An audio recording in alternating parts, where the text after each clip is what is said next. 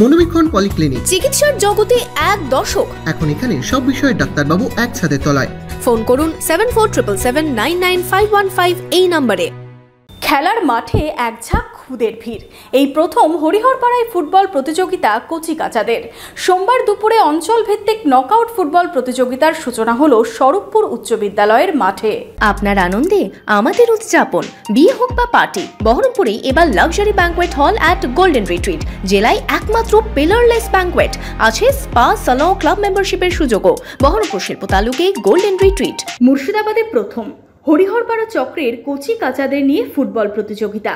হরিহরপাড়া চক্রের উদ্যোগে ছয় দলীয় অঞ্চল ভিত্তিক নকআউট ফুটবল প্রতিযোগিতা হল সোমবার। হরিহরপাড়া অবর বিদ্যালয় পরিদর্শকের করণ ও শিক্ষক শিক্ষিকা সমন্বয় কমিটির পরিচালনায় এদিন হরিহরপাড়া ব্লকের স্বরূপপুর উচ্চ বিদ্যালয় মাঠে ছয় দলীয় অঞ্চল ভিত্তিক নকআউট ফুটবল প্রতিযোগিতার শুভ সূচনা হয়। প্রতিযোগিতার শুরুতেই ছটি পঞ্চায়েতের জার্সি উন্মোচন করা হয়, পরে গোলপোস্টে কিক মেরে উদ্বোধন করেন হরিহরপাড়া পঞ্চায়েত সমিতির সভাপতি মীর আলমগীর ও আইসি অরূপ কুমার রায়।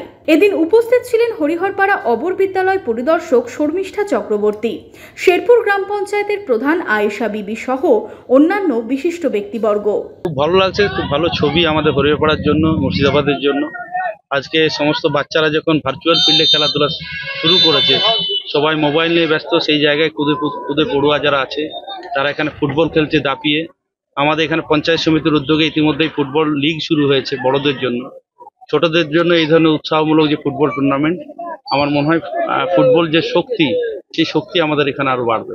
আরও বেশি মানুষ ফুটবলমুখী হবে, মাঠমুখী হবে, ক্রীড়ামুখী হবে। ভীষণ উৎসাহ, উদ্দীপনা।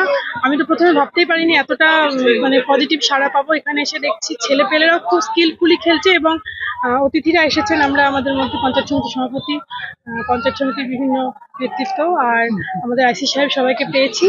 আর বিভিন্ন শিক্ষক সংগঠনের নেতৃত্ব আর অন্যান্য শিক্ষক শিক্ষিকা সবার মধ্যে খুব একটা ভালো সাড়া দেখতে পাচ্ছি। স্বরূপপুর, মালোপাড়া ও ধরমপুর এই তিনটে অঞ্চলের খুদেরা এই খেলায় অংশ নেয়। খেলা দেখতে ভিড় করেন ক্রীড়াপ্রেমী মানুষজন। আগামী তেরো তারিখ হবে ফাইনাল খেলা।